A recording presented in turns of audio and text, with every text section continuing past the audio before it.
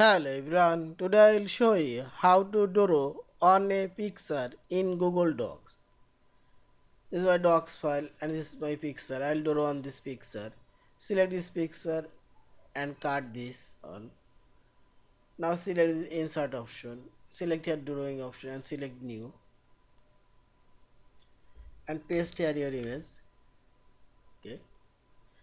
Now here we will find this drawing option line arrow. I'll do this arrow. Now I'll change this arrow color. Red and white. 8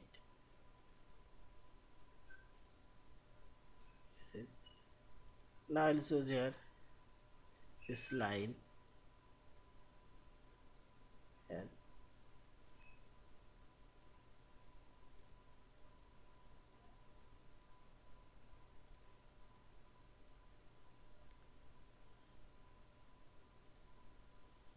and draw I'll draw here shape this shape box. Since shape color pink shape fill color this is white yeah.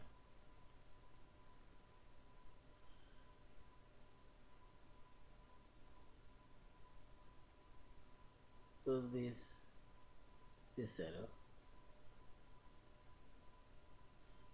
says color border color yeah. In this way you can draw as you like. Now select save and close. This drawing already appearing here. Thank you for watching. Please subscribe like share and comments